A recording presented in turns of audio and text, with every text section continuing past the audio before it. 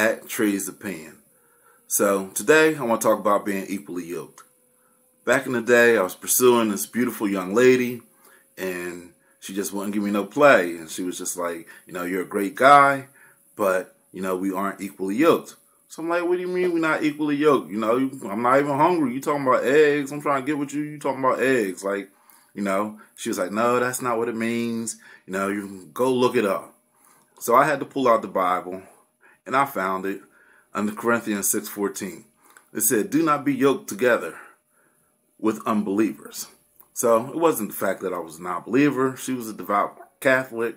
You know, I was a CME member. Christmas, Mother's Day, and Easter. So it says, For what do righteousness and wickedness have in common? Or what fellowship can light have with darkness? So basically, you know, we ended up getting together after all that. And after a year and a half, it didn't work out. I had to put her out. But anyway, I look at it from different aspects. The Bible also refers to when two oxen are yoked together and one oxen is stronger than the other, the other one does the majority of the week, the work. So they're not equally yoked. So I believe that, you know, in dating nowadays, is it really possible to be equally yoked? You can have a woman and meet her and she's crazy. The guy is normal. The woman can have a bunch of kids and he doesn't have any.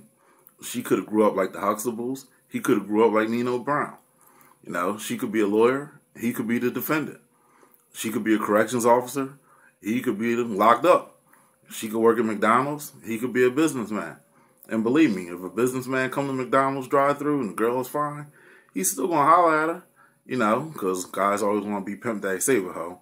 But that's another episode of Trey's opinion. So you know, the guy could be black, the girl could be Asian. Are we really equally yoked?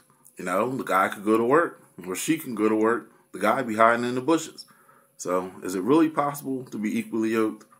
To be equally yoked spiritually, mentally, financially? Is it really possible? Uh, I mean, I'm sure it is possible, but I think you have to be willing to compromise sometimes. You may not be 100% equally yoked.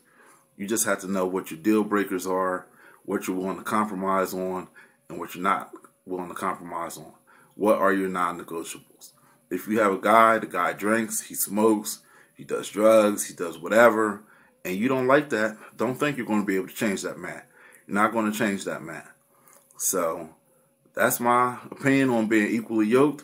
As always, this is Trey's opinion. Thanks for stopping by.